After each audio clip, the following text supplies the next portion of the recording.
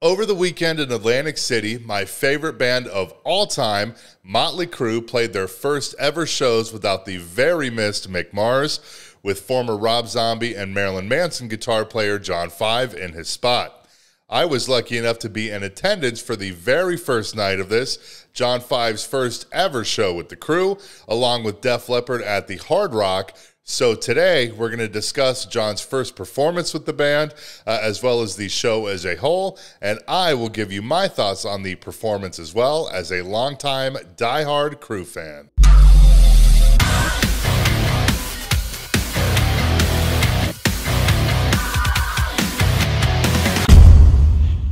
Obviously, the stadium tour last summer with Motley, Leppard, Poison, uh, Joan Jett, and Classless Act was absolutely massive, grossing over $173 million, selling 1.3 million tickets, and averaging just over 37,000 tickets per night. So they have, of course, unsurprisingly decided to keep it going, now dubbed the World Tour, with just Motley and Def Leppard heading overseas and to South America. As we all are aware, shortly after the stadium tour's conclusion, Mick Mars officially retired from touring, with the excellent John Five taking over, and the band announced three intimate shows before heading overseas. Uh, the first, of course, taking place in AC at the Mark G. Etess Arena inside the Hard Rock, which is around a 7,500 capacity venue. So, a textbook definition of an intimate show for these bands. Def Leppard kicked off the night promptly at 8:30, and as per usual, the band was great live. After all these years, they still certainly got it, and I also really appreciate the fact that on the screen during their performance, they show quite a few pictures of former guitarist Steve Clark, who sadly passed away back in 1991, uh, being replaced, of course, by Vivian Campbell. Very cool of them to still pay tribute to Steve after over three decades. My only complaint with Def Leppard, and this applies to Motley as well, uh, the show was essentially the exact same thing that we all saw on the stadium tour last summer. I'm not so much talking about the set list here as when you have a catalog of hits like these bands do obviously you have to play a majority of them and the sets don't really change that much from tour to tour. I'm more so talking about production. I totally get that this is technically the world tour so everyone outside of north america they haven't had a chance to see it yet. But I think for such an intimate show, both of the bands could have done something special uh, and a little bit different, as it's a very, very rare occasion to see bands of this caliber in such a small room. Uh, and honestly, it wasn't that much bigger than my high school's gymnasium, maybe twice the size or so at most. To be fair, though, Def Leppard typically keeps their production somewhat low key, especially when compared to Motley. Other than that, though, not too much else to say about Def Leppard. The set list was the same both nights, uh, as according to Setlist FM. And I would imagine uh, a lot of the people were going both nights, so it would have been cool for them to swap out a few songs at least, uh, try something different, maybe something from the first record on through the night because it never gets enough attention. Uh, save for Let's Get Rocked and When Love and Hate Collide, which they played this weekend. Uh, the set list was identical to the stadium tour. Either way, though, they turned in a great performance just shy of 90 minutes. Moving on to the reason I drove eight hours to be there for Motley Crue. As soon as Def Leppard finished their set, and keep in mind, very minimal production, uh, just some screens that both bands shared, and then some stairs. Motley immediately makes a statement as their crew begins hauling their massive set pieces onto the stage, which, mind you, is nowhere near as big as what either of these bands are used to. Somehow, though, they managed to fit basically their entire stadium production onto the stage, uh, except for the ginormous blow up robot girls and the tall pineapple looking things, whatever the hell those are. It was an hour changeover between Leppard and Motley, uh, but I will say I was somewhat surprised to see John Five hanging out so close to the crowd. Again, very small place, so not quite as easy to hide, but come on. You would never see the rest of the guys in the Crue or Def Leppard for that matter unless they're on stage performing. But there he was, right in plain sight. I think he was doing some VIP meet and greets for a bit. And then, probably like 15 minutes or so before Motley set, he hung out just off of stage left until it was time for them to go on, which finally happened at 11 o'clock. Much like Def Leppard, Motley used the exact same intro as they did on the stadium tour, uh, which is still pretty badass, I must admit, before they launched into Wildside. The set list was fine, same as the stadium tour to a T, except in their karaoke from Hell bit, uh, where they play a medley of covers, which I could certainly do without. They changed the order of the covers a little bit, and they swapped out White Punks on Dope for Blitzkrieg Bop, of all things. Whatever. I would have liked to see some other stuff thrown in there, and I could do without the entire covers medley as well as the dirt. I get that they found an entire new generation of fans from that movie, uh, and it's the one song in the set that John Five had a hand in writing. But for me personally, I really wish they would throw in something old school like Red Hot, Louder Than Hell, All in the Name of, Starry Eyes, On with the Show. A million songs, it would be way cooler, in my opinion. Uh, the dirt is all right, but I guess it only feels necessary if MGK is going to be there to perform it live. Uh, I think it's a little awkward just hearing his bit on the song uh, to a track. I am very glad that Primal Scream is still in the set, though. I guess you could maybe consider it to be a, a bit of a hit to a degree, but still very underrated, in my opinion. Fantastic song, and I'm a sucker for anything with a slide in it. Uh, that being said, I do have a handful of complaints about the overall performance as well. To start, the tempo of some of the songs felt way, way, way low. Uh, some of them just felt like a bit of a slog to get through, honestly. Uh, to be fair, there could have been some sort of technical issues at night with the monitors or something.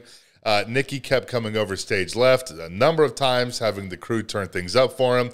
And of course, this was their first show since the fall, so likely a few kinks to still iron out, especially with adding a new member into the fold. In my opinion, John 5 fits into Motley perfectly. I don't think they could have found a better replacement, but there were a few uh, new things in some of the songs that I'm not really a big fan of. In Too Fast for Love, for example, I always loved the ending of the song where they do a, the chorus and then Mick would do a lick, then they'd go back to the chorus. Tommy does a drum fill, etc. Uh, I always thought it was a really, really cool part. But now, or at least uh, this past weekend, in place of one of the classic licks or fills, it's just palm muted strumming. Like, here's a very quick example of what I mean, though, if my fantastic noise making wasn't good enough for you. To that end, though, the ending of Too Fast for Love, uh, immediately after the bit I was just talking about, they do this uh, thing where they sort of slow the riff down and kind of wrap up the song that way, which I thought was pretty cool. Same with Wild Side. John did some soloing that I thought complemented the song very nicely. Uh, I also want to note, though, that with John 5 being in Motley Crue comes a lot more chugging, uh, likely due to John's time playing with Zombie and Manson. I'm personally, I guess, just indifferent to it. I don't love it. I don't have a problem with it. Uh, of course, every player has their own style. I don't think we need a 1 1 clone of Mick, but still worth noting. Another thing I want to point out is that every time I got a good look at John's face or they did a close up of him on these screens, my opinion, he appeared to be a bit nervous.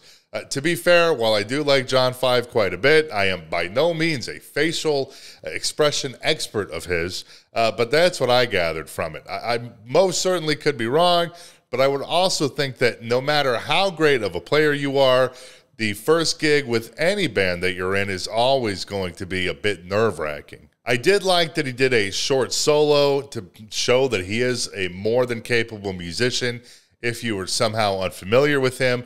But it would have been cool to see him throw some more of his bluegrass stuff into the solo. Wishful thinking, I know, not really the right vibe, but hey, guy can dream.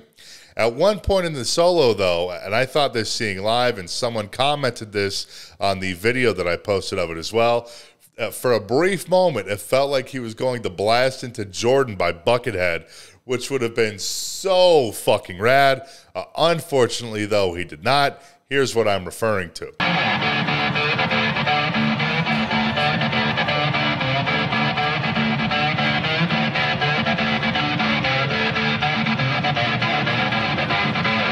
He did play a little bit of God Bless the Children of the Beast from Shout at the Devil, and a bit of Without You from Dr. Feelgood, though, uh, and that was pretty cool to see. Overall, though, John 5 did a fantastic job uh, with the Crue, and I'm sure it'll only get better as time goes on. My other issues with the show have nothing to do with John whatsoever, but the rest of the guys in the band. The one that upsets me the most is the keyboard on Home Sweet Home. Home Sweet Home is my all time number one favorite song in the world, but holy fuck, the keyboard sounded like complete shit. For one, that band has more than enough money to afford a piano, even if they have to rent one for the night. I've seen them do it on multiple occasions, and the song deserves to be played on a piano. If they absolutely must do it on a keyboard, though, holy shit, do it on something better than a Fisher Price one. Even a First Act would sound better. My kids have a toy keyboard that sounded better than that. Very, very disappointing to me. I'm sure I'm probably being a bit dramatic, but my God, it sounded rough. My fiance looked at me when they started and she goes, Are they about to play the alphabet song? That's truthfully what it sounded like.